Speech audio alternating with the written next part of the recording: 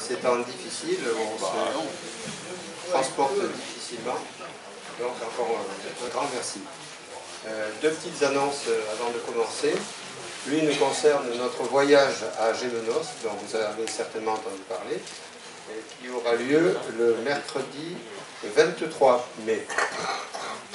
Euh, c'est un voyage qui s'est organisé donc par les Amis de la Liberté. Nous irons à Gémenos visiter l'usine des Fralib et avec un petit pique-nique et après nous irons visiter le Mucem à Marseille. Euh, il faudrait vous inscrire euh, assez rapidement de façon à ce qu'on puisse réserver à coup sûr le car.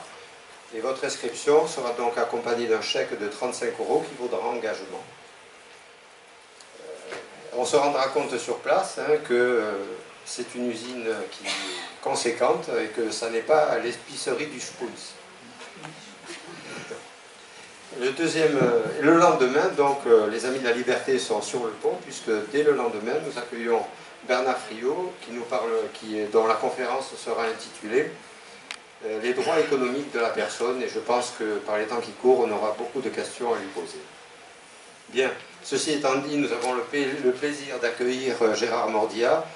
Euh, je ne vais pas présenter son œuvre parce que depuis 81 et Vive la sociale, c'est foisonnant, donc quelques minutes n'y suffiraient pas.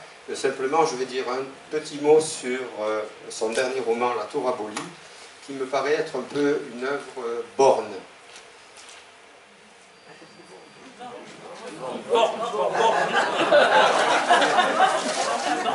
Non, pas borgne, borne.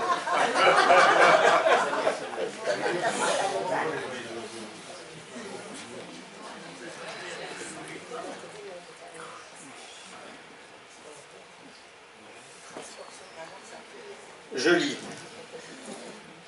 Il y a sous toutes les grandes villes des fosses aux lions, des cavernes fermées d'épais barreaux où l'on parque les bêtes fauves, les bêtes puantes, les bêtes venimeuses, toutes les perversités réfractaires que la civilisation n'a pu apprivoiser.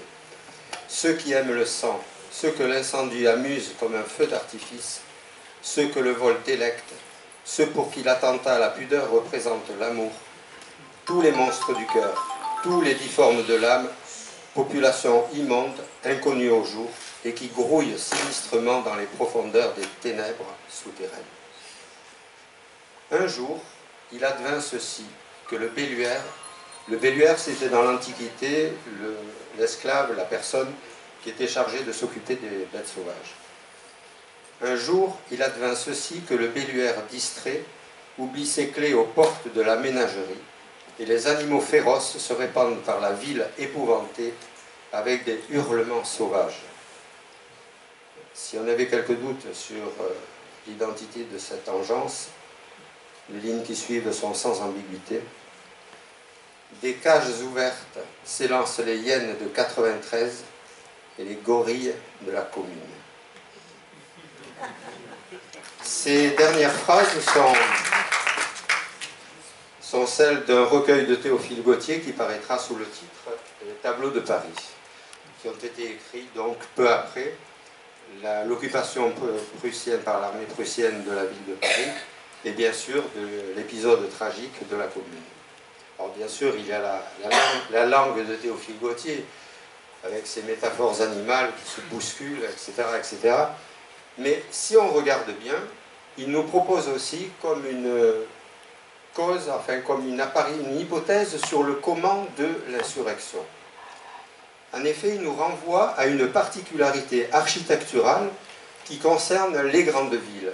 Et si vous vous souvenez de ce que j'ai lu, c'est il y a sous toutes les grandes villes. Ça n'est donc pas propre à Paris, ça a valeur d'universalité. Et sous toutes les grandes villes, il y a ces fosses, ces caves, qui sont aussi des lieux d'habitat. Et dans cet habitat grouille justement cette engeance. Et c'est parce que, accidentellement, ici c'est le Belluaire qui a oublié les clés, donc il fait l'impasse bien sûr sur le pourquoi de l'insurrection, il nous renvoie à un comment, et donc cette engeance se libère et parvint dans un endroit où elle ne devrait pas être. Et donc on pourrait dire que l'insurrection pour lui se résume au fait qu'une partie de la population se trouve dans un lieu où elle ne devrait pas se trouver. Or, vous voyez, euh, d'architecture et d'architecte, il est, il est aussi question dès les premières lignes du dernier roman de Gérard Mordillat, La tour abolie. C'est en effet à l'architecte Bob Meyer que revient le privilège de prononcer le discours inaugural de la tour, l'inauguration de la tour. Je lis.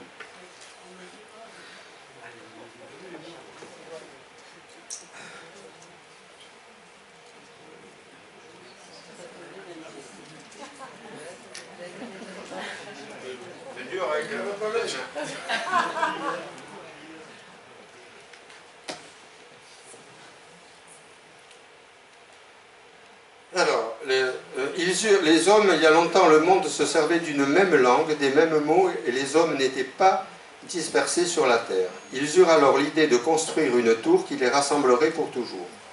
Une tour si haute qu'elle dépasserait les nuées et toucherait au divin. Mais Dieu en prit ombrage, dispersa les hommes et confondit les langages. Aujourd'hui, nous relevons le défi de Babel avec la tour magistère qui tutoie les cieux sur 38 étages et s'enfonce sous sept sous-sols au cœur même de la défense.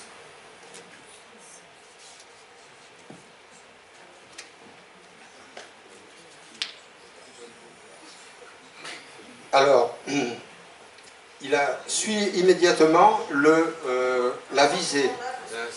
Obéit à un objectif euh, et qui, qui nous est servi tout de suite après.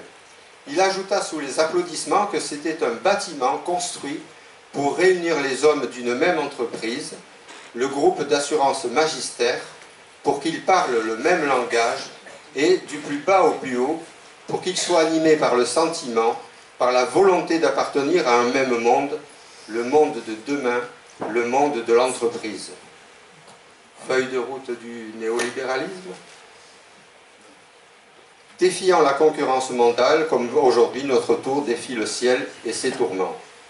Et tout de suite après, il y a le comment euh, donner sens à cette euh, visée, à cette intention.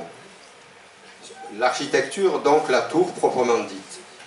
Elle était mouvement, envolée, souplesse, un geste architectural qui se distinguait par une façade torsadée, des paliers vitrés, transparents, permettant une pénétration maximale de la lumière et surtout par des espaces extérieurs à chaque étage, balcon ou loggia. Donc ici, espace ouvert. Hein.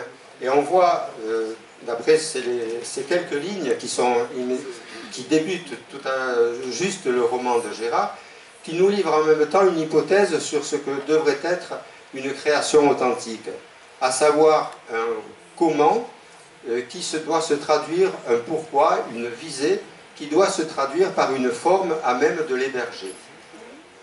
Euh, donc, euh, non pas vécu comme deux entités séparées, mais au contraire comme rentrant en symbiose, un peu comme le pile et la face d'une pièce lui, lui confère son identité. Et on voit tout de suite pourquoi j'ai mis en miroir le premier texte, c'est que d'un côté, cet univers cloisonné, fermé, et on pourrait bien se demander si cette tour n'est pas quelque chose, n'est pas le, pieu qui pourrait, en euh, qui pourrait défoncer, qui pourrait trouer le souterrain de Gauthier. Or, ces, ces, lignes, si vous voulez, sont presque les premières du, gérant du roman de Gérard Mordillat, qui est un roman très dense, et on éprouve le besoin tout de suite de progresser dans ce livre pour en savoir davantage. Et pour ne pas se perdre, je pense, dans ces 38 étages, plus les 7 du sous-sol, je pense qu'il nous faudrait un guide. Or, nous avons ici ce soir la chance, le privilège, d'avoir un guide magistral pour nous faire visiter, entre autres, la tour magistère.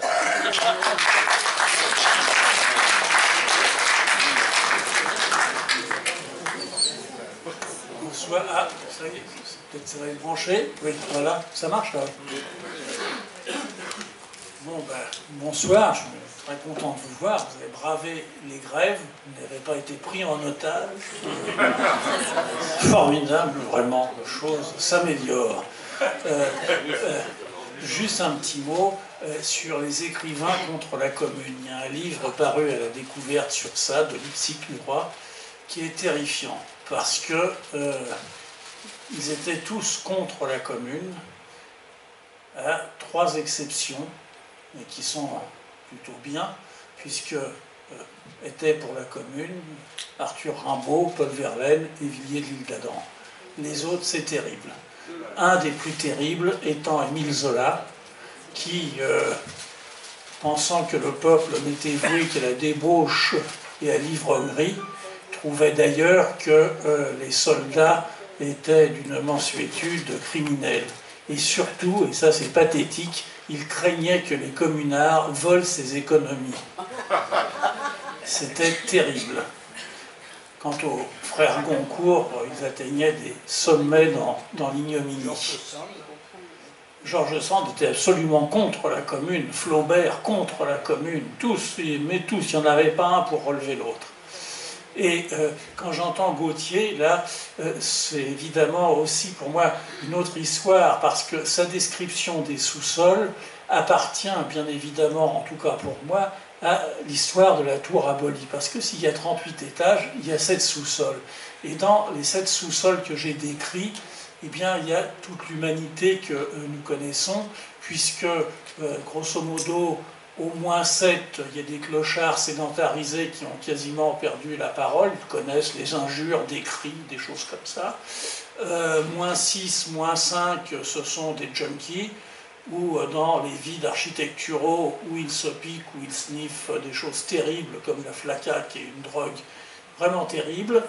Euh, moins 4, moins 3 sont les travailleurs africains et des pays de l'Est qu'un camion vient prendre enfin que des camions viennent prendre euh, vers 5 heures du matin pour les emmener sur les chantiers. Et puis au moins deux, ça je ne l'avais pas vu, mais on me l'a raconté, il y avait un couple qui vivait dans une voiture, en fait le frère et la sœur, et la femme travaillait dans la tour au-dessus. Donc j'ai essayé dans ce livre de décrire comment le fond remonte jusqu'au 38e étage. Donc vous découvrirez ça. Je pourrais vous redire d'autres choses, mais je vais vous parler d'autre chose. Juste avant de, commencer, peut-être aussi, euh, j'aimerais évoquer, euh, j'ai fait deux films sur le poète Antonin Artaud. Un film documentaire avec mon ami Jérôme Prieur, et puis un film de fiction que j'ai réalisé seul, où euh, Samy Frey jouait Antonin Artaud et Marc Barbet, un autre poète qui s'appelait Jacques Prevel. Pourquoi je vous raconte ça? Parce que lorsque Artaud revient euh, d'Irlande, où il a fait du scandale et où il a été expulsé, euh, il est interné d'office en débarquant au Havre. Et euh, le, le, diagnostic qui est porté sur sa maladie est paraphrénie confabulante. C'est très savant. Mais je ne voudrais pas être interné à la sortie de cette rencontre. Pourquoi? Mais parce que la paraphrénie confabulante, c'est un mot savant pour dire on parle tout seul. Donc j'espère que nous aurons une conversation, un débat, un échange entre nous et que vous ne me laisserez pas parler tout seul. Je ne voudrais pas finir dans une camisole. Donc, je vais vous parler comme écrivain, comme cinéaste, et faire euh, quelques pas de côté, si je puis me permettre, euh, sur une question qui m'intéresse au premier chef, le travail. Le travail en tant que euh, travail salarié, sa présence dans le cinéma, sa présence dans la littérature, mais au-delà de ça, le travail lui-même, sa définition, ses perspectives. Alors, c'est vrai que très souvent, on m'a présenté comme un écrivain ou un cinéaste engagé. Et euh, cette euh, présentation m'a toujours, au fond, laissé perplexe, parce que je sentais bien qu'il y avait dans cette idée euh, de me désigner comme tel, l'idée finalement de me disqualifier. Pourquoi? Bah, Parce que un écrivain engagé ou un cinéaste engagé n'est plus ni un écrivain ni un cinéaste. Il est un cinéaste engagé.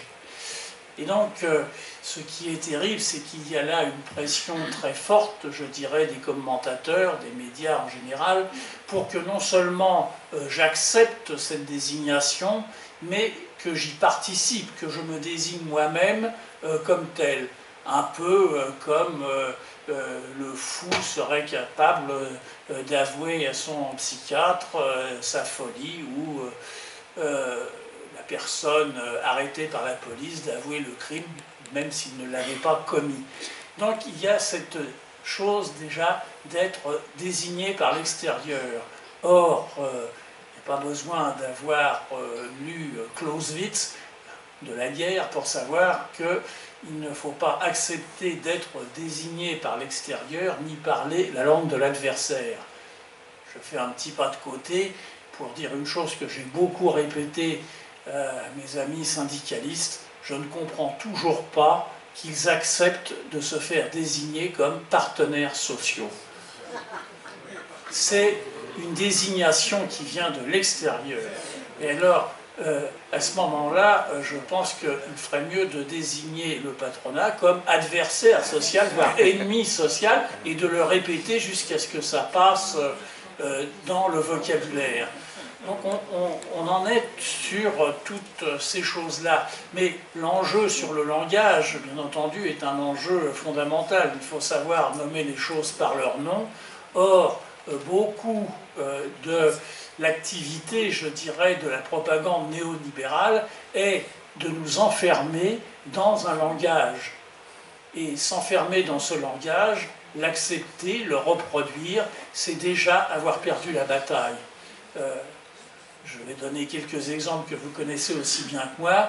Euh, il y a un terme qui a disparu à l'intérieur des médias, c'est le terme salaire. Il a été remplacé par coût du travail. Ce n'est pas du tout la même chose.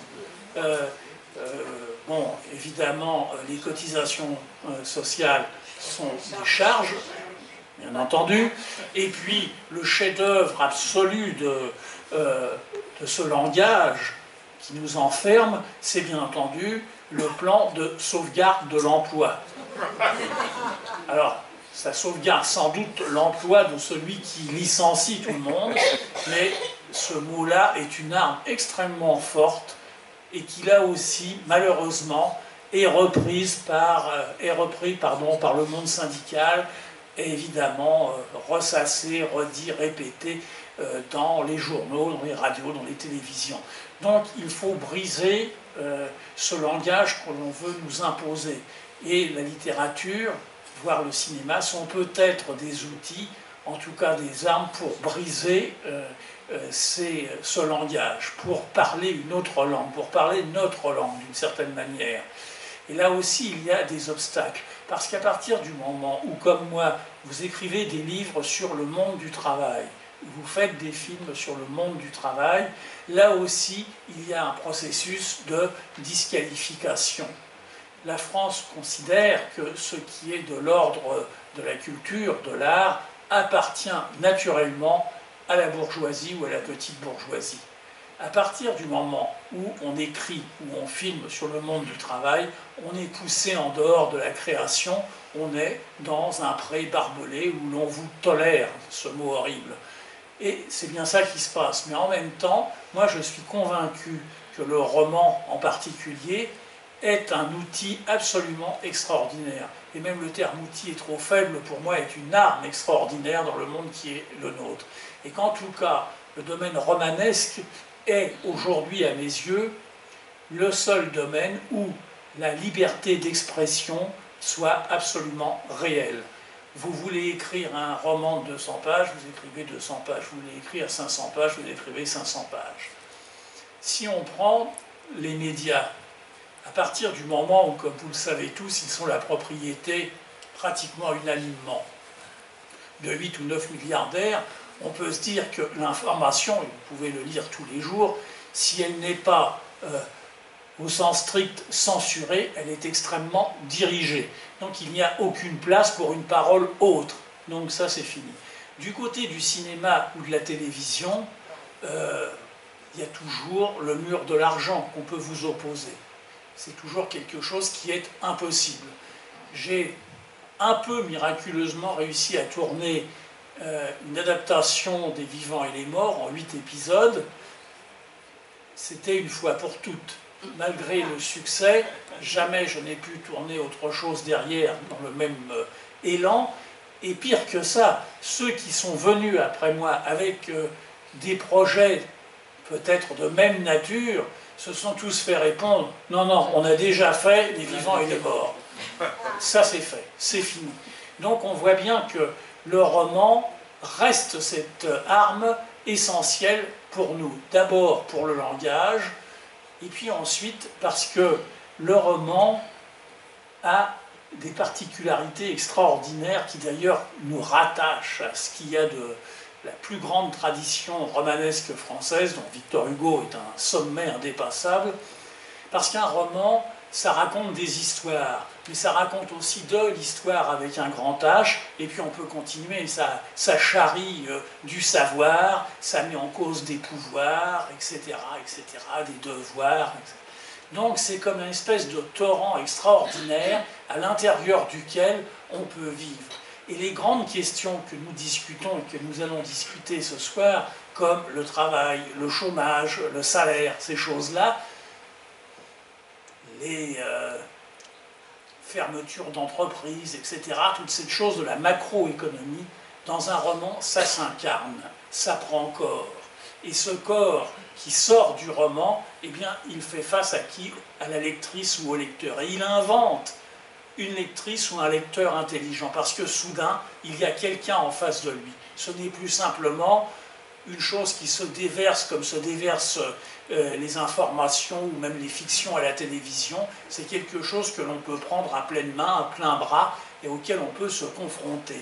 Donc je crois que le roman a cette fonction, a cette utilité, a cette beauté, à mes yeux indépassable. Et puis, euh, c'est un peu une plaisanterie, je me dis toujours que puisque j'écris des romans assez gros, si ça ne se vend pas, ça servira toujours à monter des barricades. voilà pour le roman.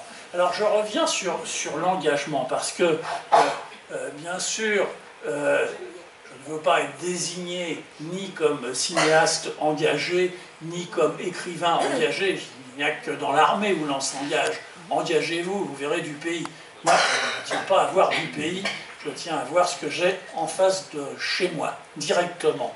Alors, mais en même temps, c'est vrai que je suis engagé parce que, en tant qu'écrivain ou en tant que cinéaste, je m'intéresse euh, à l'économie, je m'intéresse à la politique, je m'intéresse à un tas de choses auxquelles peut-être ne devrais-je pas m'intéresser, ou en tout cas dont il paraît être de mauvais goût pour un artiste, entre guillemets, euh, d'y prêter intérêt.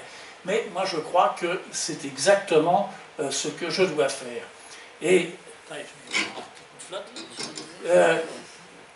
je vais vous raconter un, un petit apologue juif que je trouve magnifique parce que il décrit à la perfection comment, au fond, je conçois, j'imagine et, je pratique ce que je fais. L'apologue est le suivant. Il s'agit d'un juif très élégant, très bien de sa personne, très riche, qui tous les jours se regarde dans un grand miroir et se trouvent toutes les qualités de beauté, d'élégance, d'intelligence, de fortune. Et cela dure jusqu'au moment où passe un rabbin, et le rabbin efface le teint du miroir.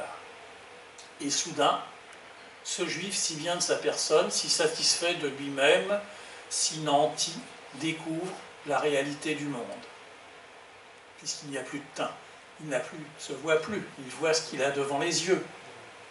Bien, je crois que mon travail de cinéaste, mon travail d'écrivain, c'est de faire ce que fait ce rabbin, effacer le teint du miroir. Parce que nous sommes dans une société qui sans cesse dresse devant nous des miroirs, nous renvoie à nous-mêmes. c'est l'éloge de l'individualisme, l'éloge de tout pour moi, rien pour les autres, et puis euh, la fameuse formule de Margaret euh, Thatcher, euh, l'individu n'existe, enfin non, la société n'existe pas, il n'y a que l'individu et sa famille. Donc c'est terrible ça. Et moi je crois que justement c'est à travers la littérature, à travers le cinéma, qu'on peut, à notre mesure, effacer le teint du miroir, effacer ces miroirs qu'on nous tend. Parce que si j'ai une conviction profondément euh, ancrée en moi, c'est d'être euh, un écrivain et un cinéaste réaliste.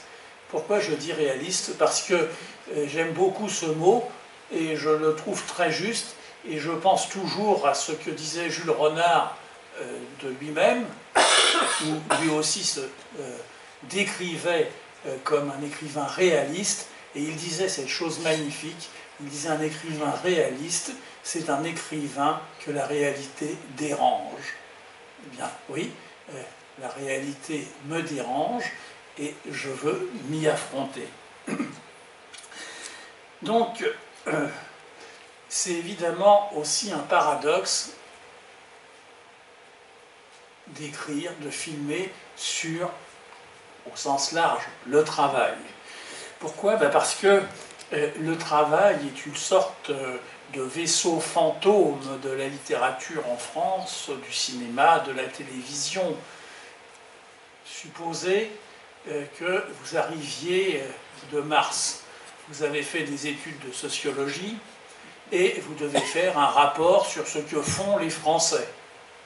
Alors, vous dites, il faut trouver un angle d'attaque, et vous avez comme idée de dire, eh bien voilà, je vais euh, consulter euh, un an de production romanesque, un an de production cinématographique et télévisuelle, et à travers l'imaginaire, il y aura bien quelque chose du réel qui me sera renvoyé.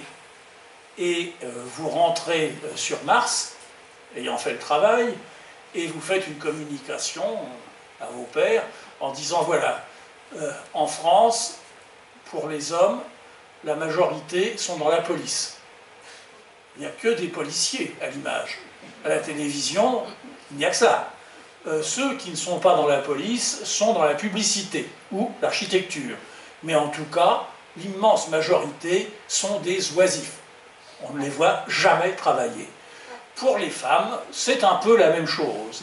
Celles qui ne sont pas dans la police, et d'ailleurs dans des rôles subalternes, sont dans la magistrature, ça va avec, sont aussi dans la publicité, pas exactement du même côté de la caméra, euh, et la plupart d'entre elles sont ou des call girls ou euh, des femmes au foyer, ce qui d'ailleurs apparaît comme une situation équivalente. Le travail n'existe pas, il n'est pas dans l'imaginaire, il n'apparaît pas. On ne voit jamais euh, un personnage qui serait ajusteur outilleur, ou qui serait conducteur offset, ou qui serait femme, qui serait coloriste sur tissu, etc. Tenir un rôle qui serait non seulement son rôle, mais le rôle principal ou du livre, ou du film, ou du téléfilm. Il y a quelque chose qui est là comme une sorte euh, d'ostracisation de cette idée. On ne veut pas voir les gens au travail. Et si on prend euh, les informations diffusées par la télévision, là on est franchement dans une chose quasiment insupportable. Parce que quelle est l'image du travail véhiculé par la télévision? Majoritairement, c'est le chômage. C'est le chômage, c'est l'absence de chômage. L'absence de travail, pardon. Puis ensuite, euh, c'est décliné avec le RSA, l'intérim, les petits boulots, etc., etc. Et puis euh, jusqu'aux âneries euh, de Jean-Pierre Pernaud, le dernier sabotier de je ne sais quel bled au fin fond de je ne sais où. Mais jamais on ne voit quelqu'un qui, exerçant une profession, travaille et peut parler de ce qu'il fait en dehors de situations de crise. Et ça aussi, c'est quelque chose de tout à fait étonnant. Et c'est là qu'on revient à Zola, parce que, effectivement, cette idée de Zola que le peuple est voué par nature à l'ivrognerie et à la débauche, eh bien ça passe encore aujourd'hui. Ça nourrit encore les imaginaires. Et on n'imagine pas de laisser la parole à quelqu'un euh, qui euh, exerce tout simplement un métier comme beaucoup d'entre vous l'exercent. Et c'est ça qui est, je crois, très douloureux. Parce que il y a une chose qui m'a toujours frappé quand on voit les grands plans de licenciement. Qu'est-ce qui est mis en avant? Est mis en avant d'abord le nombre, toujours un chiffre, 500 là, 400 là, 300 là, 1350 ailleurs. Pourquoi? Eh bien parce que le chiffre donne l'illusion euh, de la neutralité scientifique, bien sûr c'est une illusion, et puis il est sans affect. Supprimer 1300 postes, c'est barrer le chiffre 1300. Il n'y a pas de danger personnel à faire cela. Et la deuxième chose que l'on voit apparaître, c'est évidemment la perte du salaire. Encore des chiffres, s'ils sont cités. Alors, moi je crois qu'évidemment, euh, tout ça est bien sûr très grave et très douloureux, cette euh, perte travail, la perte d'un emploi et puis la perte du salaire. Je ne suis pas convaincu que ce soit le plus terrible de tout. Parce que lorsqu'on perd le travail que l'on avait, lorsqu'on perd son emploi, on perd aussi quelque chose de très important, qui est simplement son savoir. Parce que quel que soit le poste que vous occupez, vous avez un savoir. Je reviens sur l'ajusteur outilleur, j'ai été ouvrier imprimeur, on peut être euh, euh, machiniste, on peut être conducteur de bus, enfin, quoi que l'on soit, on a un savoir. Or, ce savoir professionnel n'est pas inférieur au savoir euh, académique, simplement il est présenté comme tel. Et jamais on interrogerait quelqu'un qui n'est pas, au fond, certifié par l'Académie ou par je ne sais quel organe pour s'exprimer sur autre chose que sur ce qu'il fait. Il faut citer un exemple que j'ai trouvé admirable. Le cinéaste Louis Malle devait faire à la radio une émission en direct du genre Ma vie, mon œuvre. Évidemment, Louis Malle, ça l'ennuyait à mourir de faire ça. C'est terrible, c'est comme si on était mort. On demande de faire soi-même sa nécrologie d'une certaine manière. Donc il ne voulait pas de ça. Sans rien dire, il envoie à France Culture euh, son chef machiniste, Bernard Brégier. Et donc Bernard Brégier nous l'a raconté, quand il arrive à France Culture, immédiatement c'est la panique. Hein Qu'est-ce qu'on voit? Un chef machiniste. Alors ils ont tous les cheveux dressés sur la tête, on fait signe à la cabine de prévoir des disques, de mettre des choses, on fait chercher des entretiens et tout ça. Et puis, bon, bah, puisqu'il est là, il faut bien qu'il parle, évidemment. Euh, là, d'un seul coup, euh, le registre change parce que non seulement euh, Bernard Brégier connaissait parfaitement le, cinéma de Louis Malle de l'intérieur pour avoir fait beaucoup de films avec lui, mais aussi en tant que cinéphile, si je puis dire, capable de situer ça dans l'ensemble de la production cinématographique. Et puis, c'était un homme de culture qui aimait beaucoup la musique, le théâtre, qui lisait, enfin, qui était comme nous sommes. Et ça a été une très belle idée, mais ça ne se reproduit jamais, euh, parce que là encore une fois, euh, il y a un présupposé qui est que ce qui est de l'ordre de l'activité, je dirais, industrielle au sens large, est euh, acculturé, sans culture, sans rien. mon frère aîné, qui était le chef d'un atelier de recherche mécanique à la CGE, me raconte en rigolant comment les ingénieurs venaient apporter des plans où toutes les notices étaient en anglais et euh, où euh, les malheureux annonnaient avec un dictionnaire, tentaient de traduire la chose, et mon frère disait non, non, mais il y a des dessins, je me débrouillerai, et puis il les poussait dehors sans leur dire que bien sûr il est capable de lire Joyce et Faulkner dans le texte. C'est un angliciste parfait, notre mère était américaine. Euh, mais là aussi, on ne pensait pas ça. Et donc, on voit euh, que euh, le travail est un enjeu à la fois euh, évidemment industriel, politique, intellectuel, que c'est une façon d'entrer dans le monde très puissante pour le comprendre. Alors, oui, juste pour peut-être terminer un peu sur, sur ce côté-là. On voit bien donc comment, sur le plan, disons, des informations et des images, le travail a disparu, comment dans la parole il est très peu présent, et surtout comment il est euh, sans cesse euh, disqualifié. Et cette disqualification, elle est à mon avis meurtrière. Euh, c'est quelque chose qui est terrible parce que ça m'amène au fond deux, réflexions. Deux, choses que, j'aimerais dire à propos de ça. on se rend compte qu'il y a aujourd'hui en France première réflexion, il y a aujourd'hui en France, euh, je ne sais pas, plus de 3 millions, je crois, euh, de personnes euh, qui vivent sous le seuil de pauvreté, ou juste au niveau du seuil de pauvreté. Et aussi, bien entendu, dans cela, il y en a une partie très importante, je ne me souviens plus des chiffres, qui vit carrément avec 420 euros par mois. Donc très très peu de choses. Et puis, euh, c'est ce qu'on désigne aussi comme travailleurs pauvres. La tour abolie dont on parlait tout à l'heure, la femme qui dort dans sa voiture et qui travaille au-dessus est un modèle absolu de travailleuse pauvre.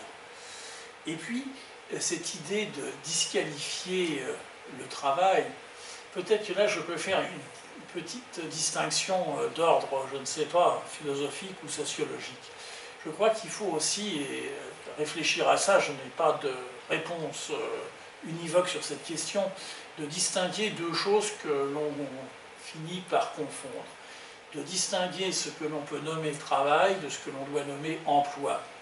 Parce que dans le terme travail, il y a une dimension euh, de création, il y a une dimension euh, d'initiative personnelle, il y a une dimension d'intelligence à l'œuvre parce que euh, le travail, eh bien, euh, quand vous le faites, il y a une part de vous-même qui est capable de le mener à bien, de l'améliorer, d'en faire autre chose. Ça, c'est ce que je nommerais le travail. L'emploi est à mes yeux tout à fait autre chose. C'est euh, la répétition d'un protocole que l'on vous impose et que vous devez effectuer sans rien y changer et surtout euh, sans avoir vous-même la moindre initiative sur son déroulement. Donc je distingue toujours, enfin en tout cas pour moi, le travail de l'emploi. Je crois que le travail euh, mérite que l'on tente une définition euh, de, ce que l'on nomme aujourd'hui le travail. C'est très difficile à définir parce qu'il est très multiple. je vais essayer. Et donc, euh, comment le définir? Alors, j'ai récemment rencontré euh, un économiste, je suis en train de préparer avec un ami une série pour Arte sur le mode des travaux que j'ai fait précédemment sur la littérature euh, chrétienne musulmane, cette fois-ci sur l'économie. Nous avons pris comme titre de travail, mais aussi provocateur vis-à-vis d'Arte, le titre de Marx, prix, salaire et profit. Et dans cette préparation, nous avons évidemment rencontré euh, des économistes, et notamment l'un d'entre eux, qui est euh, une des personnes importantes de ce que l'on appelle l'école mathématique, c'est-à-dire des gens qui pensent que tout ce qui concerne le travail peut être d'une certaine manière mis en équation et réfléchi mathématiquement. Sincèrement, dans la rencontre que nous avons eue, je n'ai pas compris un mot de ce qu'il me disait. Je pense que lui n'a pas compris un mot de ce que je lui disais non plus. Quand même, à un moment, j'ai essayé, j'ai fait semblant de comprendre, et j'ai essayé de le ramener à quelque chose de plus euh, euh, facile à aborder. Je lui ai dit, écoutez, très bien, mais au regard de vos travaux, comment définir aujourd'hui, ou tenter de définir aujourd'hui ce que l'on nomme travail. Là, il y a eu un grand silence. Puis il m'a dit, euh, c'est compliqué. il y a eu encore un grand silence. Ah ouais, c'est compliqué.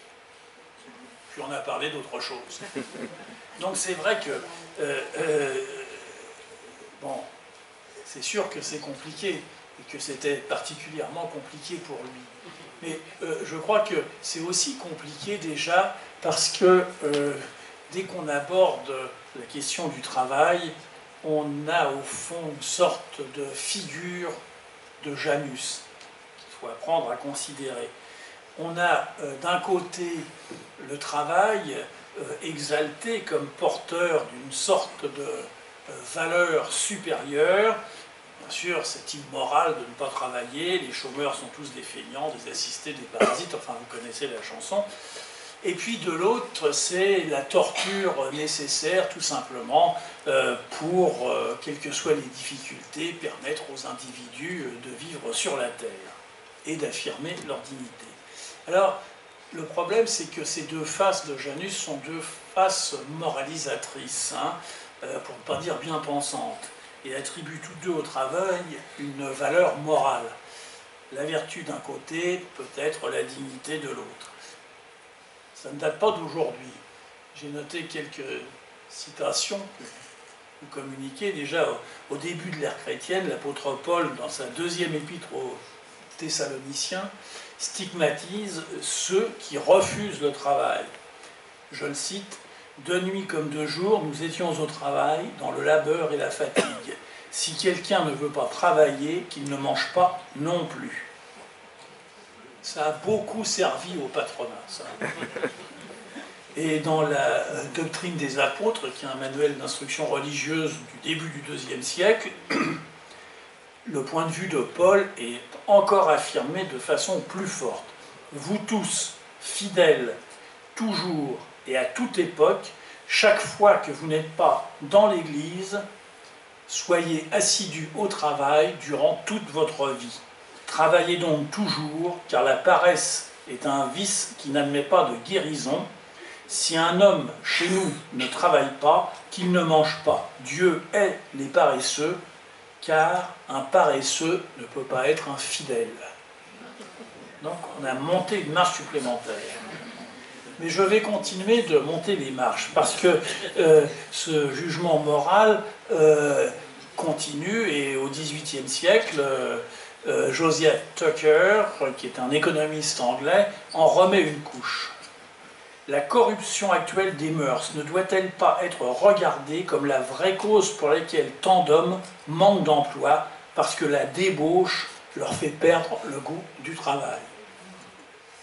À nouveau, le spectre de Zola apparaît. Et cette idéologie se retrouve chez Freud, je le cite, la grande majorité des humains ne travaillent que par nécessité et cette naturelle aversion humaine pour le travail, c'est de cette naturelle aversion humaine pour le travail que proviennent les problèmes sociaux les plus difficiles. Alors, ça atteint une caricature terrible, enfin non, pas une caricature, je n'aime pas ce mot, ça atteint quelque chose d'atroce dans le nazisme en 1933, puisque les individus qui ont refusé à deux reprises une proposition d'emploi sont classés comme réfractaires au travail et seront bientôt déportés dans des camps de concentration et frappés du triangle noir des asociaux. Alors, méfions-nous, parce que, bien sûr, on sait comparaison n'est pas raison, blablabla, blablabla. Mais quand même, euh, cette idée de réfractaire au travail, est dans le vocabulaire de plusieurs des membres du gouvernement actuel, ou de ceux qui sont à côté du gouvernement actuel, mais qui en partagent les idées, comme M. Vauquier par exemple. Alors, ça c'est pour le côté moral du travail. Maintenant, il y a le côté de la dignité, qui est aussi une chose importante, mais là, d'une certaine manière, euh, renvoie aussi à cette morale chrétienne qui imprègne tant euh, la société. Parce que euh, même chez les marxistes, Engels, par exemple, fustigeait ceux qui méprisaient le travail productif des hommes. Il avait une vision positive du travail, mais c'était ça. Et puis, même Jean-Paul II trouvait que le travail était au cœur de la dignité des hommes et que c'était quelque chose qui grandissait l'individu. Alors, moi je crois qu'au contraire, il est possible de concevoir le travail, ou tout au moins le travail contraint, comme une obligation méprisable euh, qui emprisonne et rabaisse l'homme sans lui apporter une quelconque dignité. Paul Venn, historien Paul Venn, dans la société romaine, pointait que dans l'Antiquité, vous voir dans l'Antiquité, je cite Paul Venn, l'homme réputé homme de loisir était pleinement homme, homme tout court, et voilà tout. Au contraire, c'était stigmatiser quelqu'un de le désigner par son métier. Et Cicéron, de son côté, euh, euh, affirmait que euh, un atelier n'a rien qui convienne à un homme libre. Il ne fallait pas travailler, c'était honteux. Quand aussi, j'aime beaucoup celle-là, Martial n'hésitait pas à, revendiquer, Martial qui est un satiriste, disait, là aussi c'était prémonitoire, le droit à la paresse propre à l'homme libre. Donc, euh, ce droit à la paresse nous ramène évidemment au grand texte de Paul Lafargue, qui est un texte magnifique, qui est au fond, euh, là aussi, mal lu à cause de son titre. Parce que le droit à la paresse, on pense que c'est, je sais pas, quelque chose pour les Corses. Pas. Mais c'est pas du tout ça. C'est pas du tout ça. Parce que la problématique de Paul Lafargue est une problématique qui aujourd'hui euh, est directement la nôtre. Pourquoi? Parce que Lafargue explique que la mécanisation, à son temps, euh, libérant les individus des tâches asservissantes qui sont les leurs, que fait-on du temps qui leur est rendu? Alors bien sûr, euh, la, réponse est une réponse humaniste, c'est la culture, le savoir, les études, etc. Mais aujourd'hui, quand on pense que euh, la robotisation, l'informatisation, etc., va là aussi, et ça a déjà très largement commencé, euh, libérer beaucoup d'individus de tâches asservissantes qui sont les leurs, eh bien, il va bien falloir se poser la question de que fera-t-on du temps qui sera rendu aux individus? On est exactement dans cette problématique. Donc moi, je, crois qu'il euh, faut euh, relire Paul Lafargue, oublier le génie du titre, parce que le titre est magnifique, et lire ce livre où il analysait ça de façon extrêmement puissante et fine. Alors, j'en viens à la question que j'ai frôlée tout à l'heure. Euh, qu'est-ce que le travail aujourd'hui Comment définir ce travail? Alors, euh, le travail, c'est devenu un terme finalement très banal, euh, auquel on ne prête plus attention, que chacun emploie. voilà, travail, travail, circuler, il n'y a rien à voir. Mais à tel point d'ailleurs qu'on peut même se demander s'il y a encore des gens qui travaillent en France m'avez, tant pis si je radote, entendu dire que justement ce travail, travail, travail est le vaisseau fantôme des productions cinématographiques et de la production romanesque. Alors, euh, il y a d'immenses secteurs donc, où justement le travail contraint a depuis été euh, euh, écarté au profit tout simplement de machines, d'informatique, de robotisation, etc. Euh, mais en même temps, on voit que le travail tel que nous pouvons le définir et le comprendre n'a pas disparu en France, puisqu'il y a encore, je crois, près de 14 millions, et tant mieux, de personnes qui sont salariées et qui sont des ouvriers, des employés, et qui remplissent toutes sortes de tâches. Euh, voilà. Mais dans toutes ces tâches, il y a des tâches aussi qui sont particulièrement euh, ingrates, difficiles, limitées. Bien sûr, euh, aujourd'hui, il n'y a plus de mineurs de fonds, euh, mais il y a des caissières de supermarchés, et puis euh, il, y a il, y des filles de salle, enfin, pardon, il faut dire des personnels polyvalents du, des services hospitaliers, qui sont en fait traités comme des moins que. Alors, la tertiarisation, l'informatisation de l'économie ont développé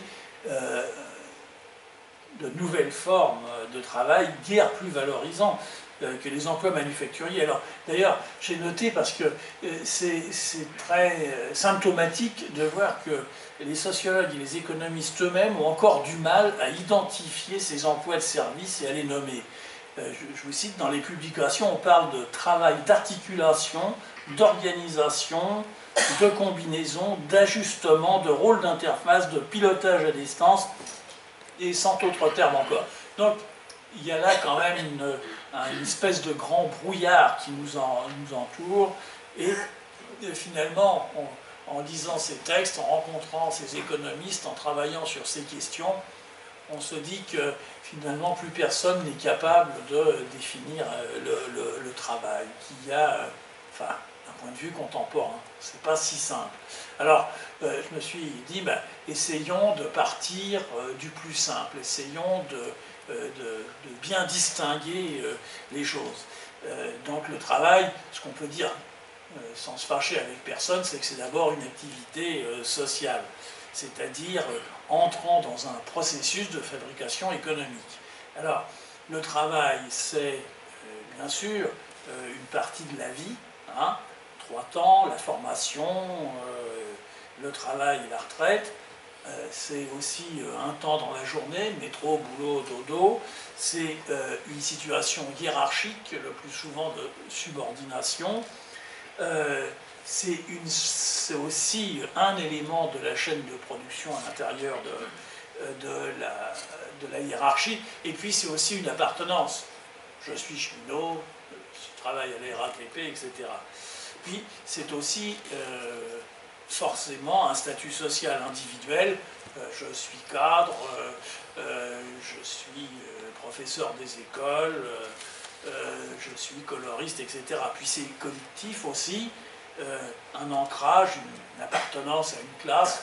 le terme anglais est finalement c'est juste il dit working class, ça sonne mieux à mes oreilles que le monde du travail. Et puis, c'est aussi un statut euh, envié ou pas, je suis ouvrier, employé, etc. Donc euh, le, travail, euh, au sens j'ai un travail, est constitué dans les pays développés d'au moins trois éléments. Un revenu stable, le salaire, ensuite un salaire bien entendu, c'est-à-dire un revenu fixe en contrepartie d'un lien de subordination, Hein, le salaire est de loin le mode de rémunération le plus répandu en France. Il y a environ 3 millions de salariés euh, et, euh, France et 27 millions d'emplois euh, qui sont des, emplois salariés. Et puis une garantie qui permet l'accès à des crédits. Donc, excusez-moi, c'est un peu, j'ai essayé de détailler les choses pour bien me faire comprendre. Alors, Bien sûr, cette définition, euh, par morceaux, euh, ne doit pas nous faire oublier les ombres qui la contrastent, parce que le travail euh, peut être aussi une activité pénible, bien entendu, et un facteur de risque. Les chiffres de l'espérance de vie le démontrent à l'évidence, contrairement à ce que pense le MEDEF. Aujourd'hui, en France, un ouvrier de 35 ans peut espérer vivre jusqu'à 74 ans, tandis qu'un cas supérieur atteindra en moyenne 81 ans. Voilà. Euh, il y a eu beaucoup d'études faites là-dessus, notamment en Grande-Bretagne, euh, qui montraient que plus euh, l'emploi, le, statut de l'emploi était faible, plus se développaient les risques de maladies cardiaques, pulmonaires, gastro-intestinales, cancer, dépression, suicide, etc. Alors, le travail tel qu'on se considérait au moins jusqu'aux 30 glorieuses est aujourd'hui contesté par des nouvelles formes de travail peut-être c'est de ça que nous pourrons parler.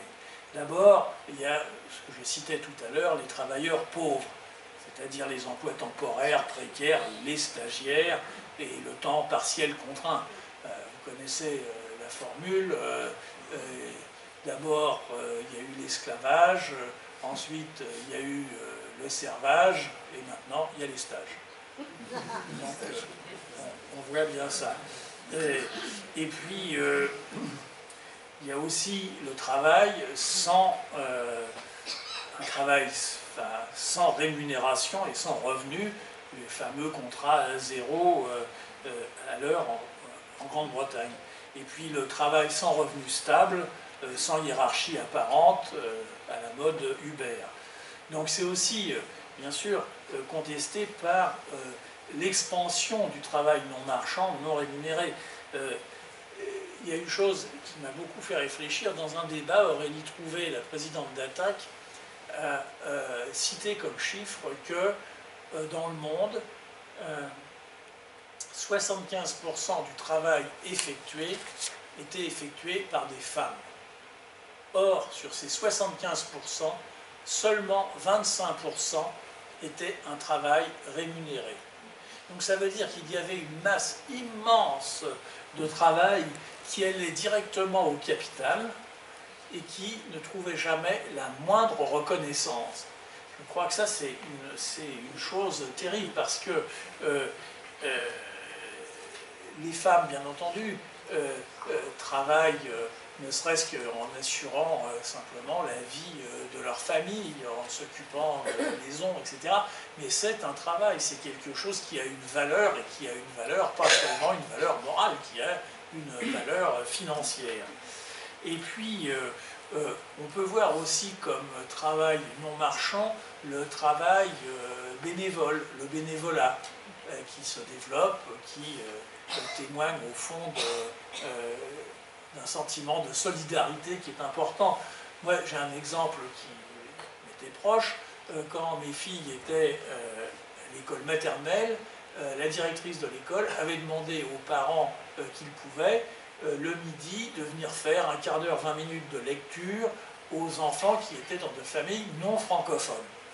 Hein, il s'agissait de leur faire entendre simplement du français euh, structuré, articulé, etc.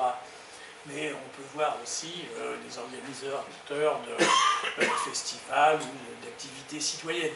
Bref, toutes ces choses-là, en réalité, servent la communauté nationale. Et donc, il va falloir un jour ou l'autre imaginer comment ce travail pourra trouver une rétribution.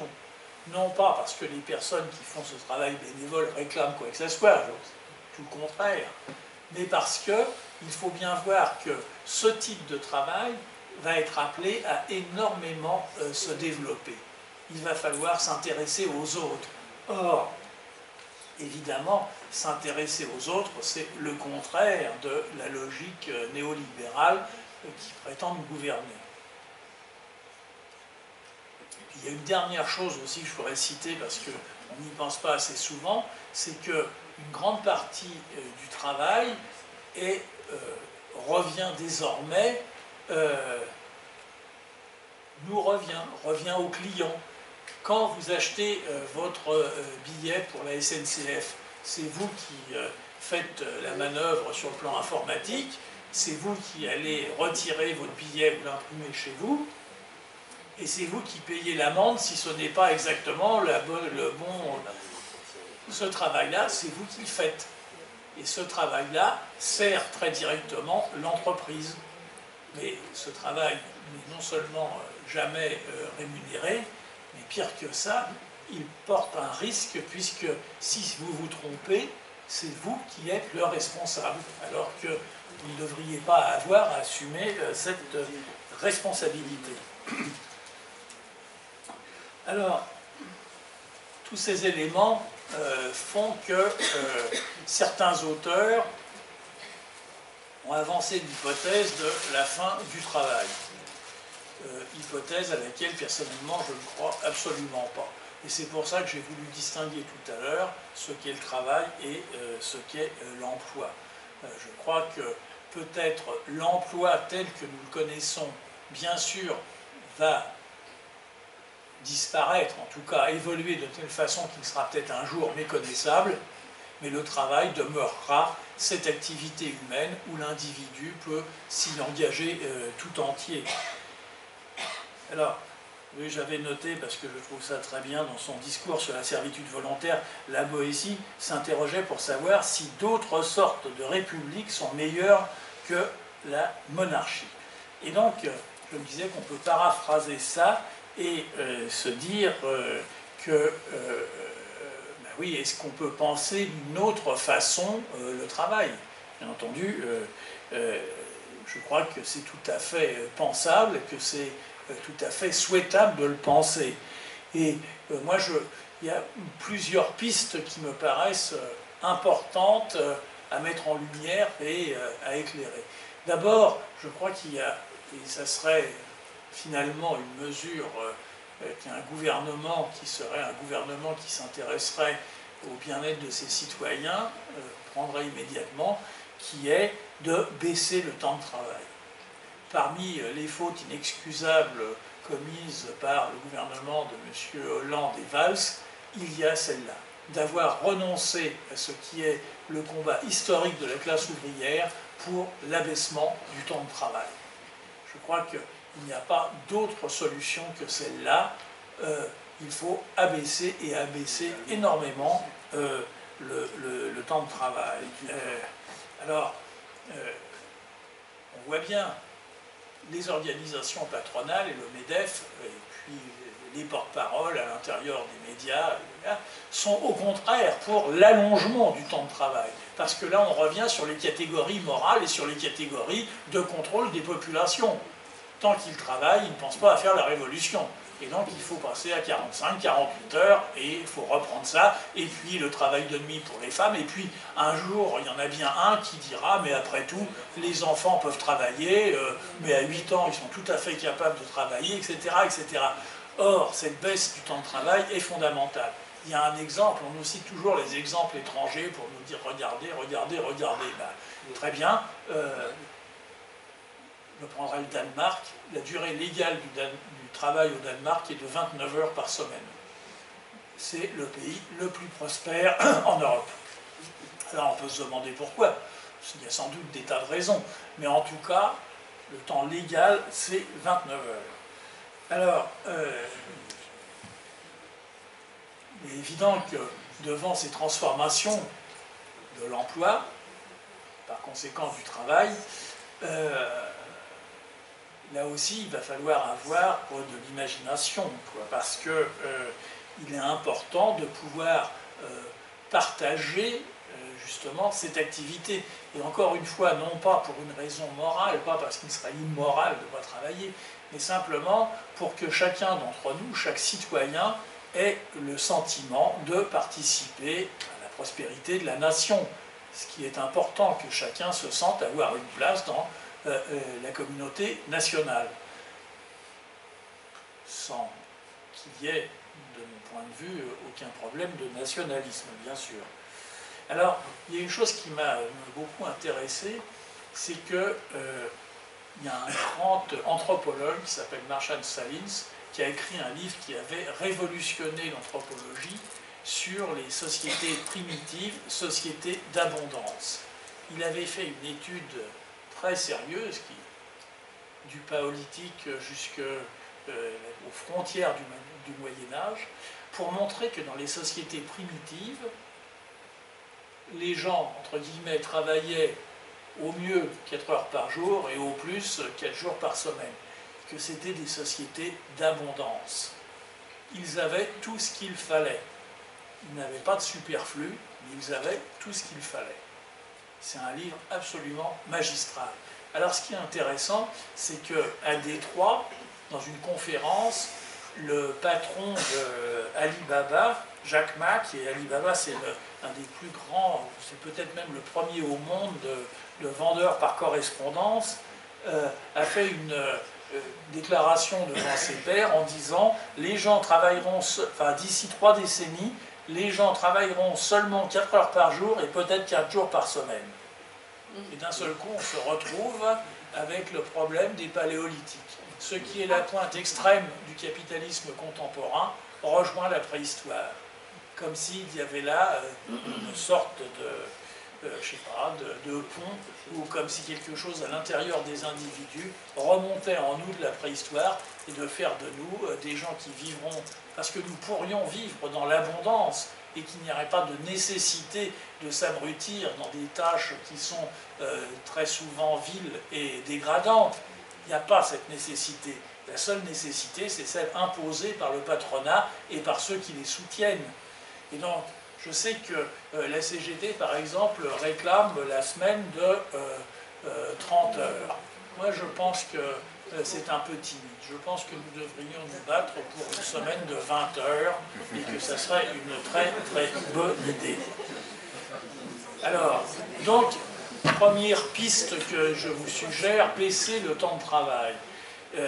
deuxième piste, euh, qui là aussi euh, s'impose à mes yeux, c'est que euh, les ouvriers, les ouvrières, les employés dans les entreprises soient suffisamment représentés à l'intérieur des conseils d'administration pour que la gestion des entreprises et, leur développement soit là aussi une décision qui puisse être prise en connaissance de cause. Alors, il y a un exemple historique euh, formidable.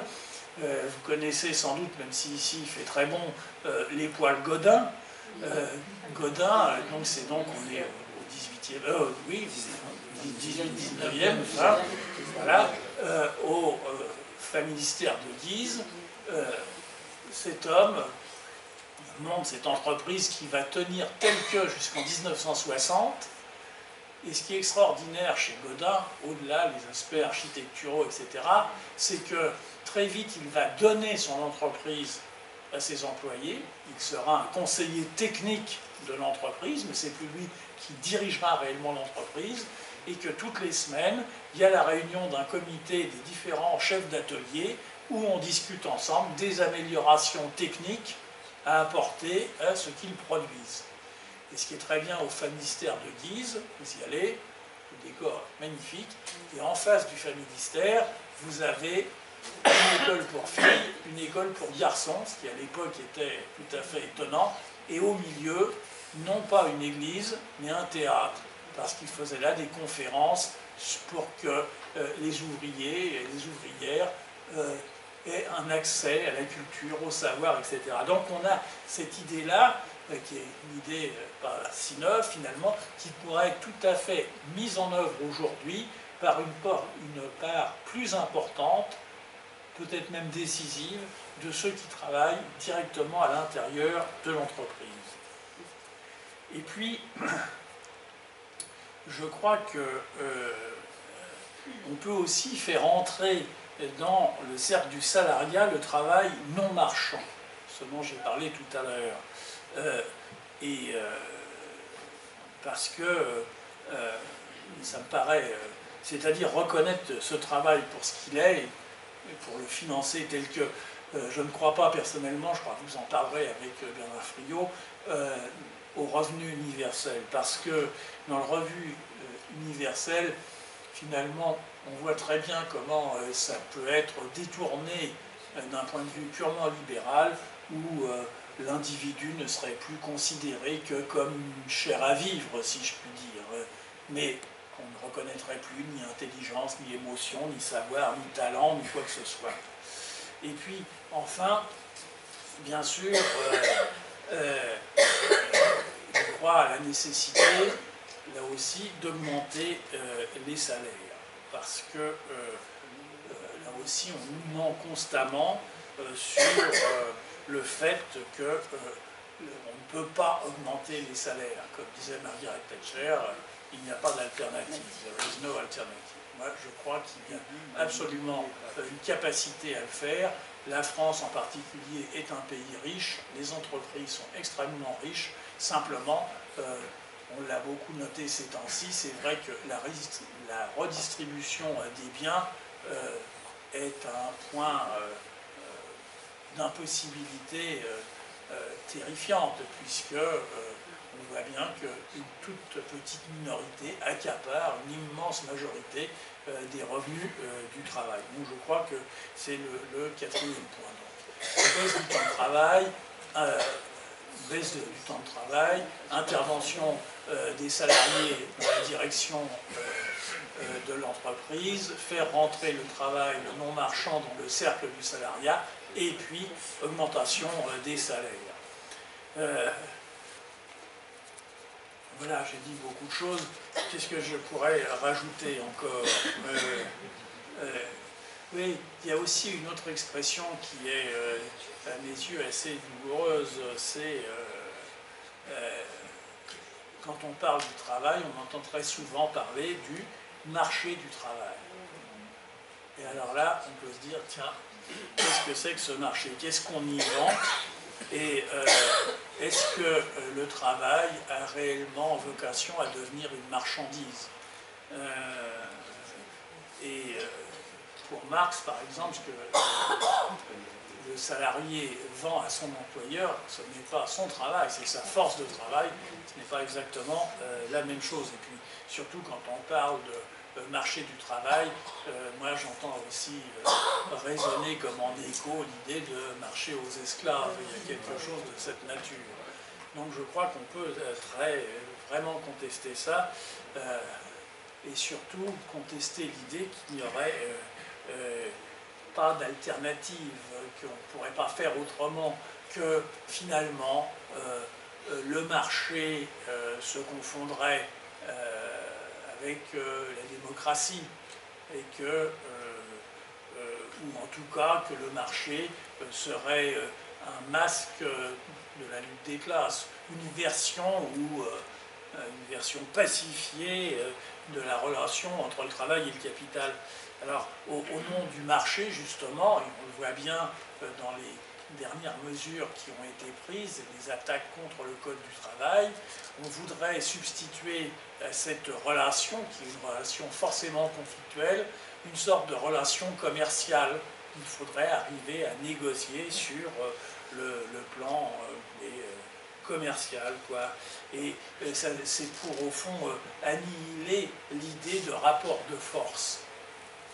Et je trouve terrible que certains syndicats dits réformistes, déjà là aussi, qu'un syndicat accepte, d'être désigné comme réformiste, pareil, une aberration totale, euh, voilà, bah, participe à cette, euh, à cette dérive finalement de ce que doivent être les relations des individus à l'intérieur des entreprises.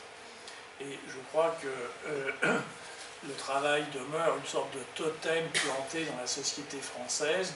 Et quand je dis totem, évidemment, je pense au au tripalium, cet instrument de torture romain qui était destiné aux esclaves qui justement ne voulaient pas travailler.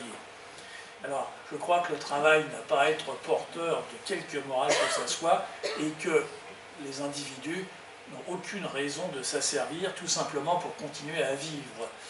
Le travail doit s'affranchir du marché et je crois qu'il peut être effectivement source de création, de satisfaction personnelle, de droit, qu'il soit à l'appareil sous l'autre, à la culture, au savoir, etc.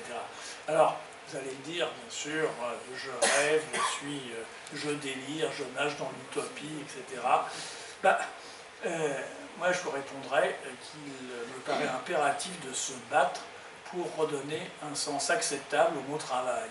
Et là, on revient à la littérature, à ce combat sur les mots, à ce combat sur la façon de nommer les choses par leur nom. Et puis, si l'on nomme euh, le travail, il faut aussi nommer son corollaire qui est le salaire, puis en délimiter l'usage euh, dans une perspective de collaboration entre tous. Parce que ça aussi, ça a été beaucoup étudié par Marshall Salins, mais aussi par euh, des chercheurs plus contemporains, au nom de l'efficacité que revendiquent si fort les néolibéraux. Qu'est-ce qui est le plus efficace? Est-ce la coopération ou est-ce la concurrence? Eh La réponse de tous côtés, en dehors de tout a priori euh, politique, c'est la collaboration. C'est d'arriver à travailler ensemble. C'était le cas au moment de la préhistoire, ça devrait être encore le cas aujourd'hui. Alors, euh, bien sûr, euh, s'annonce un grand combat hein, face à la puissance du capital. Est-ce que nous allons gagner? Je ne sais pas. En tout cas, on va se battre, puisque vous connaissez sans doute euh, cette citation merveilleuse de Brecht euh, qui disait Ceux qui se battent peuvent perdre, ceux qui ne se battent pas ont déjà perdu. Donc nous allons nous battre. Voilà. Merci.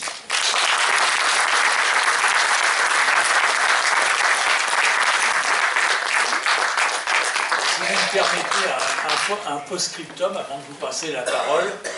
Nous sommes un certain nombre d'écrivains, de cinéastes, de musiciens à avoir lancé l'idée de constituer une cagnotte pour les grévistes, pour les cheminots en particulier, mais je pense qu'on va élargir ça aux grévistes. Euh, à l'heure où je vous parle, nous avons euh, dépassé les 800 000 euros de dons. Et euh, nous pensons j'ai eu Didier Deninx au téléphone tout à l'heure qui me disait que parti comme ça, nous devrions atteindre le million. Donc je vous encourage à regarder, si vous avez Internet, regardez Cagnotte Cheminot, et allez-y aussi, parce que ce qui est important, c'est évidemment pas la somme, parce que regarde, les grévistes, un million d'euros, ça, ce n'est pas une somme énorme. Ce qui est important, c'est que ça dément toute la propagande gouvernementale qui veut faire croire que les Français sont hostiles à la grève. Ils ne sont pas du tout hostiles à la grève. On leur bourre le mou. Passez-moi l'expression, on leur ment sans arrêt, et si l'on pose vraiment les questions, tout le monde comprend que nous devons nous battre pour les services publics et au nom du bien commun contre l'intérêt privé. Voilà, fin du post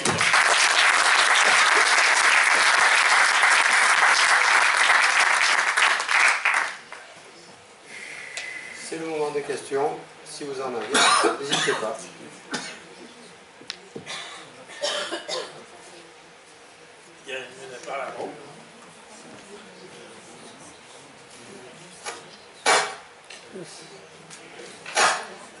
Je vous merci. Je voudrais prendre, euh, demander votre opinion sur euh, l'actionnariat salarié. Il y a plein de gens. Je voudrais savoir, est-ce, euh, pour le, cette idée, par exemple, les salariés actionnaires. Dans le cas oui, pourquoi? Et dans le cas non, pourquoi? Merci.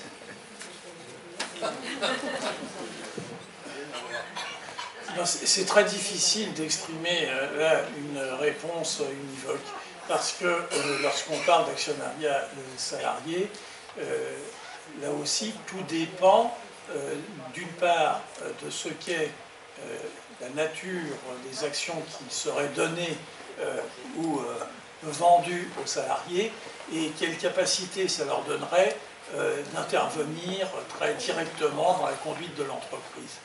Euh, je crains que ce soit un peu...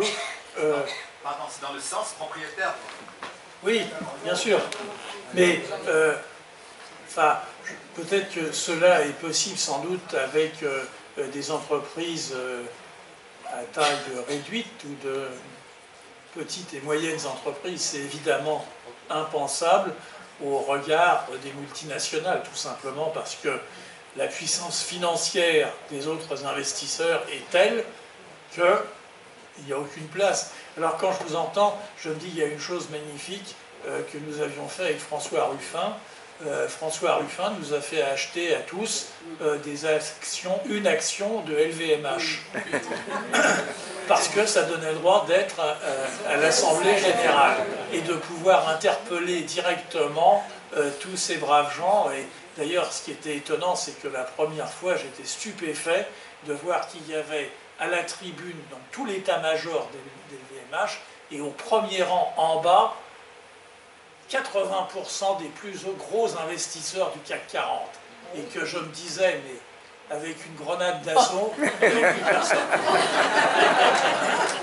Donc, euh, donc non, simplement pour répondre à votre question, euh, sur le principe, ça me paraît un principe tout à fait euh, intéressant de se dire que euh, ceux qui produisent réellement soient aussi les propriétaires de l'entreprise dans le cadre, je dirais, de la structure capitaliste de l'entreprise telle qu'elle est aujourd'hui, ça me paraît difficile à mener vraiment, sinon pour euh, des choses, euh, euh, disons, de, peu d'envergure, parce que c'est très difficile. Vous ne pourriez pas aujourd'hui, par exemple, même si vous travaillez chez LVMH, vous ne pourriez pas être un, pourriez être un actionnaire des LVMH, mais auriez-vous 100 actions? Ça représente rien du tout au regard des investisseurs qui en ont des millions. Donc, euh, vous voyez, c'est pour ça que c'est difficile de répondre. Sur le principe, sur la propriété de l'entreprise par ceux qui y travaillent, je suis pour à 100%. Sur euh, l'introduction de l'actionnariat en tant que euh, moyen de contrôle des entreprises, je suis un peu sceptique. Vous ne croyez pas que la notion de travail est d'autant plus pervertie qu'aujourd'hui, alors vous avez tout à fait raison de dire que on devait travailler 20 heures par semaine, puisque il y a 80 ans, en 1936, c'était 40 heures la, semaine de travail, et que la productivité s'est multipliée par 1000 au moins, et qu'aujourd'hui encore, on travaille dans les mêmes conditions, grosso modo, sinon plus. Euh, mais ma question est, la suivante. Euh, c'est le travail qui amène la richesse, le problème, c'est qu'aujourd'hui, c'est la spéculation financière qui apporte plus d'argent que le travail proprement dit. Est-ce que cette notion financière de ce capital financier aujourd'hui ne pervertit pas véritablement le travail? Bah, Vous avez tout à fait raison de pointer ça, et moi je peux même euh, mettre une date sur ça lorsqu'avec Nicolas Philibert, nous avons tourné notre premier film qui s'appelait La voix de son maître, c'était un film sur le discours patronal où nous avons filmé 15 des plus grands patrons français qui faisaient la théorie du monde tel qu'ils le pensaient. Comment le capital était légitime, quel était le rapport avec les syndicats, etc. Face à la caméra, voilà. Ce qui était très, intéressant, c'est de voir qu'à ce moment-là, nous avons tourné en 76-77, la majorité, je suis près certain même de, oui, la majorité de ces chefs d'entreprise étaient issus des écoles d'ingénieurs. Le patron d'IBM France, le patron de la Thomson, le patron de... etc. Euh, quand le film est sorti en 78, disons en 79, plus aucun n'était à sa place. Ils avaient tous été remplacés par euh, des gens qui venaient des écoles de commerce. C'est là qu'il y a eu le changement. C'est-à-dire au moment où nous avons tourné, et je ne pense pas que c'était de la démagogie de leur part, ces hommes qui avaient eu une expérience d'ingénieur, si je puis dire, avaient réellement de la considération euh, pour euh, les personnels qu'ils employaient, et surtout était maître des décisions qu'il prenait. Le conseil d'administration était là pour simplement euh, adhérer à ce qui était choisi. Le basculement s'est fait ensuite. Or, aujourd'hui, ce que vous décrivez, c'est de voir que les conseils d'administration ont réellement pris le pouvoir et que celui qui est à la tête de l'entreprise est tout simplement euh, celui qui doit exécuter les ordres pris par ce conseil d'administration pour simplement rentabiliser euh, au maximum euh, ce qui peut être produit uniquement sur le terrain financier. Alors, c'est certain qu'on est face à ce problème-là, parce qu'on est en train de euh, rejoindre un des grands fantasmes du patronat depuis la nuit des temps, j'ai envie de dire, qui est de faire de l'argent avec de l'argent et de ne plus avoir besoin ni d'entreprise, ni de salariés, ni de syndicats, ni de toutes ces choses qui empêchent euh, de vivre tranquillement euh, à Monaco. Euh, donc, bien sûr, le, problème de la finance en tant que tel est un problème très complexe dans la mesure où comment attaquer ça? Alors, il n'y a que la voie politique, parce que, euh, encore une fois, euh, sur le plan, je dirais, euh, à la fois législatif, réglementaire, etc., on a vis-à-vis des entreprises très peu d'angles d'attaque. Donc il faudrait des choix politiques extrêmement forts pour refaire basculer ça et pour, on l'entend de temps en temps, réindustrialiser la France, par exemple. Or, ce n'est pas du tout le chemin qui est pris aujourd'hui, c'est même tout le contraire.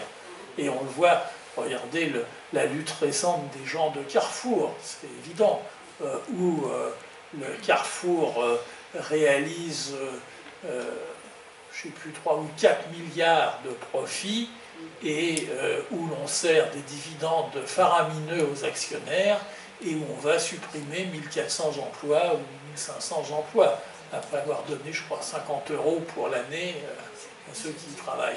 Donc c'est contre ça, c'est contre ce type de capitalisme-là que nous combattons. C'est difficile parce que, euh, encore une fois, il n'y a pas de ce côté-là euh, de, choix d'énergie politique suffisante et surtout que nous sommes cernés par euh, d'autres gouvernements qui défendent des points de vue absolument opposés à celui que je viens de dire.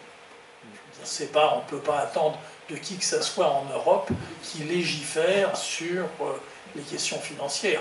On voit bien l'impossibilité de légiférer sur l'évasion fiscale qui représente des milliards euh, d'évasions. On laisse faire parce que finalement ça convient euh, à cette oligarchie qui réellement a pris le pouvoir. Je regrette de ne pas avoir, pouvoir vous donner la réponse de comment les faire tomber. Si je l'avais, on serait déjà dehors. Question suivante. Décision politique. Oui, oui, oui. J'aimerais parler de Trump. J'ai pas entendu. De monsieur le, président américain. Ah, Trump. Il est un type fou, un malade, tout ce qu'on veut. Mais ce qui est intéressant pour, disons, intéressant dans le sens entre guillemets pour moi, c'est qu'il fait il fait ce qu'il a promis de faire, de, faire. Par exemple, moi je compare avec Obama. Je veux dire, c'est une catastrophe ce qu'il fait, bien sûr. Mais je le compare avec Obama, par exemple. Il a eu 8 ans de, de pouvoir. Et je ne veux pas dire qu'il n'a rien fait, mais par rapport à Trump, Trump, il fait dans le, le mauvais sens. Mais il fait, il essaye de faire. Il a des contre-pouvoirs contre lui. Mais il essaye. Alors que par exemple, Obama, ou bien pour revenir en France, euh, Hollande, ils n'ont même, pas, même pas essayé de faire. Oui, il a même fait le contraire, Hollande. Oui, je veux dire, euh, dans l'autre sens. Mais je veux dire, il faut essayer de faire quelque chose moins minimum. Enfin, moi je. non, mais ce que, ce que je. Enfin, ce que Trump est finalement symptomatique d'une chose que moi je trouve très très inquiétante. C'est euh, que l'on voit remonter de partout, et particulièrement en Europe, euh, un néofascisme, un néonazisme qui ne se cache plus. Euh, le vice-président autrichien appartient à un parti néo-nazi désigné comme tel. Et euh, bien sûr, il y a les néo-nazis qui sont en Grèce, il y a les néo-nazis qui sont en Tchéquie, il y a les néo-nazis, etc. Et là aussi, on veut faire comme si ça n'existait pas. Trump est une autre version de ça. Il est de cette euh, euh, version, euh, je ne sais même pas si c'est ce que c'est que le nazisme, mais finalement de cet hyper-nationalisme qui conduira tout droit au pire. Mais ce qui est grave, c'est que là aussi, c'est un train de gagner de partout en Europe. Vous savez, avant la dernière élection présidentielle française, j'ai préfacé la réédition de textes de Mussolini de 28 et 29. Pourquoi? On s'est beaucoup interrogé avec euh, l'éditeur. C'était à la fois passionnant et terrible à lire, dans la mesure où on voyait que les thèses de Mussolini, donc c'était des textes de lui, hein, structurant le mouvement fasciste, se retrouvaient dans l'ensemble des candidats à la présidentielle, sous une forme ou sous une autre les points importants, c'était en premier le nationalisme, et tous étaient nationalistes, y compris Mélenchon, le nationalisme. Deuxième point, l'étatisme. Alors on peut se dire, non, il y en a qui n'étaient pas étatistes. Par exemple, euh, l'UMP n'était pas étatiste. Sauf que lorsqu'on lit le livre de M. Juppé, Pour un État fort, on se rend compte que la place qu'il attribue à l'État n'est pas de garantir la liberté des citoyens, d'assurer une égalité possible entre eux, d'être une sorte de protection. Non, l'État devient l'instrument qui assure la régulation du marché. Parce que le marché, ça ne fonctionne pas tout seul. Il faut un instrument régulateur et cet instrument régulateur, c'est l'État. C'est exactement la politique qu'ont menée messieurs Hollande et Valls. Troisième point très important, euh, un programme social qui excluait les syndicats. C'était tel que chez Valls et chez Fillon. En particulier, chez Valls ou chez Fillon, peut-être chez les deux d'ailleurs, il y avait euh, l'interdiction de la CGT. Euh, c'était très clair. Et puis, en dernier, une prétention à être ni de droite ni de gauche. Je vous rappelle que lors de la marche sur Rome, donc en 29, le slogan de Mussolini était ni droite ni gauche, en marche. Ça fait rêver. Et donc, euh, enfin, ces idées-là, et la structure de, de l'État fasciste, mais aussi le néonazisme et dans son expression du racisme, de la xénophobie, etc., euh, ça remonte de partout. Et à la mode américaine, Trump est, d'une certaine manière, euh, le meilleur exemple de cette remontée. Parce que je crois que sur le plan idéologique, il n'y a euh, aucune différence entre lui, Orban en Hongrie et Erdogan en Turquie. Et, tous ces gens-là, et les Polonais, etc. etc. Donc euh, voilà, alors il fait ce qu'il a dit, euh, oui, bien sûr, et il a le soutien euh, sans doute d'une part importante des Américains, vraisemblablement, ça sera aux Américains d'être capables de répondre à ça, parce que c'est sûr qu'il ira jusqu'au bout de son mandat, il n'y a aucun moyen de l'en empêcher. C'est-à-dire, j'ai pris cet exemple pour dire que quand on a le pouvoir, on, peut faire des choses. Ah bah bien sûr. Voilà, c'est une décision politique en fait. La, discussion, et même ce qui est, ce qui est extravagant, et là Hollande est le, meilleur exemple, c'est comment est-ce possible euh, de mener une politique euh, absolument à l'inverse de celle pour laquelle on a été élu. Ça paraît stupéfiant, c'est incompréhensible d'une certaine manière. Enfin, on se dit, au moins, Sarkozy avait pour lui, lui aussi, il avait été élu sur un programme de droite avec des objectifs de droite, il a fait ce qu'il avait dit. Euh, il n'a pas pu aller jusqu'au bout sur l'hôpital, sur l'éducation, etc. Mais ils étaient partis pour ça. Et donc, euh, euh, Hollande, mystère. Voilà. Sarkozy était plus honnête que Hollande. Je crois, oui. Au départ. Mais tout simplement, euh, Sarkozy était ce qu'il était, mais il n'ajoutait pas à ce qu'il était l'hypocrisie. Oui, mais enfin, moi je voulais quand même faire, une observation, c'est que dans la Constitution qui, qui gère les affaires françaises politiques, qui date de 59, qui a été modifiée 64 fois, il y a une grande confusion entre le législatif et l'exécutif notamment au profit du président de la République. Ça va de la déclaration de guerre et de l'envoi de l'arme nucléaire jusqu'aux finances des collectivités locales, même des mairies. On est bien d'accord sur ce sujet. Moi, je crois que actuellement, il y a une possibilité pour le citoyen lambda que je suis d'intervenir dans la chose publique en tant que citoyen pour la gestion, que ce soit au niveau communal, départemental ou autre. Alors, je pense que c'est comme ça, je pense. Je l'ai vécu toute ma vie, c'est-à-dire que je vote depuis que j'ai l'âge de voter, c'était 21 ans à l'époque où j'étais majeur, la majorité. Et je n'ai jamais été représenté. Et d'autre part, je voulais faire remarquer que le président de la République actuellement n'est pas élu. Celui qui a fait le plus de voix, c'est Monsieur Nu, abstention, prénom blanc. C'est lui qui aurait dû être programmé Je suis désolé, mais il n'est pas du tout représentatif et dans ces conditions, il ne devrait pas être élu. On, avait cherché à Libération si on avait trouvé s'il existait en France justement quelqu'un qui s'appelait nul ou abstention. Parce qu'on l'aurait présenté. Blanc.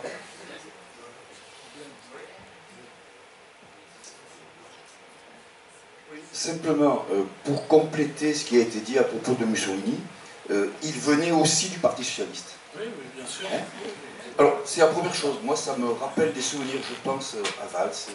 Bon, allez, hop, c'est pas grave. deuxième, deuxième remarque, je ne sais pas si l'état dans lequel nous nous trouvons trouve pas son origine dans l'absence de démocratie qui a commencé par l'absence de démocratie dans les entreprises nationalisées, euh, où il n'y a pas eu ce pouvoir des travailleurs contre ce qui était décidé euh, par l'État.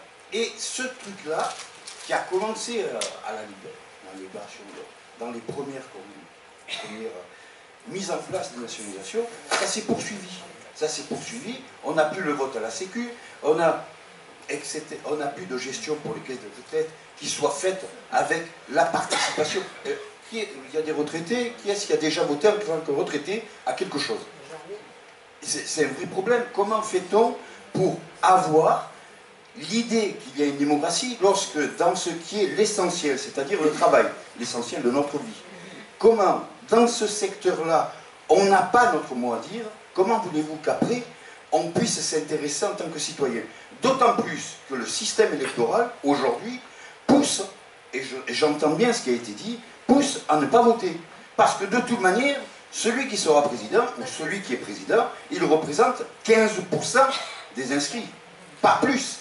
Et quand il nous serine, j'applique mon programme et il a été approuvé par la majorité, excusez-moi, non, non, non, non et non. Mais personne n'a approuvé son texte.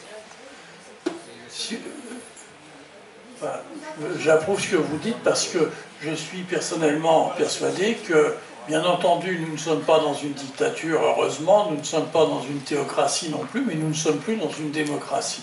Nous sommes euh, dans une post-démocratie.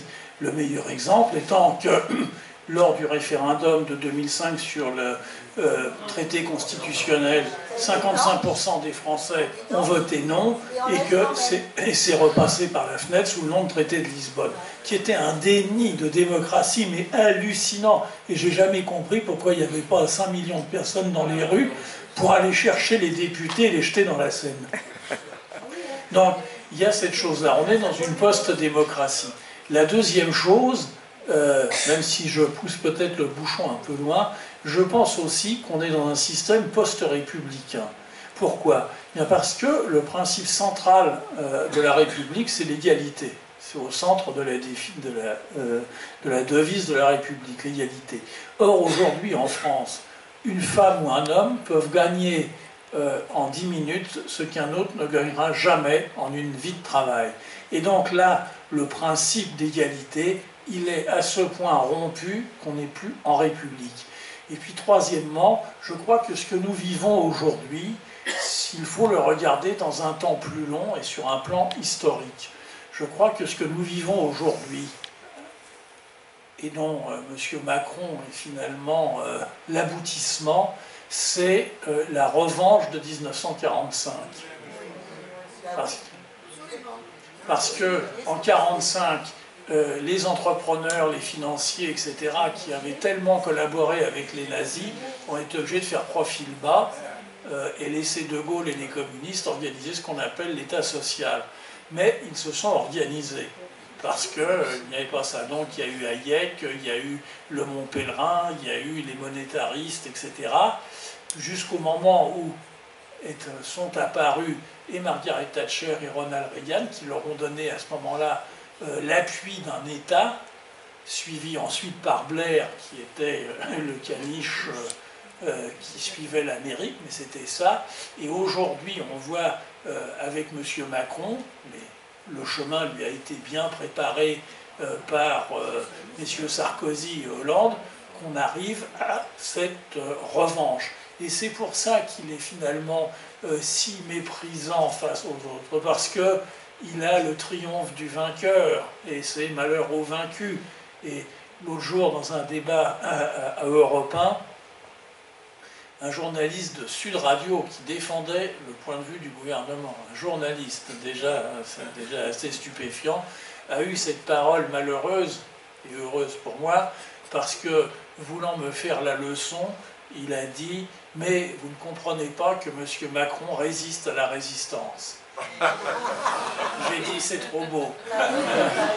Bien entendu, qui résiste à la résistance Les collaborateurs. Alors il a essayé de bafouiller que c'est pas ce qu'il avait voulu dire, mais euh, euh, on sait bien N'est-ce pas que, comme l'a dit notre camarade Lacan, euh, l'inconscient est structuré comme un langage, donc il avait bien dit exactement ce qu'il voulait dire. Eh bien, on est dans ce monde-là. Et c'est évidemment contre tout ça que nous devons agir et que nous devons agir en commun, que nous devons faire ça. Et je pense que ce qui se passe aujourd'hui à travers euh, les cheminots, à travers les fonctionnaires, à travers le personnel hospitalier, à travers les personnels des EHPAD, bientôt avec euh, la RATP, le gaz, etc., ça va être l'occasion justement euh, de se réunir, de, de dire, bien voilà, c'est simplement ce monde-là que nous ne voulons pas. Et encore une fois, pardonnez-moi d'utiliser ce verbe, mais bien entendu, euh, ça supposera de se battre.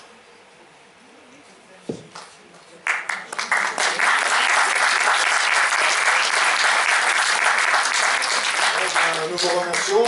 Nous vous donnons rendez-vous à la prochaine conférence avec Bernard Friot le 14 mai. Et puis le voyage à Gémenos.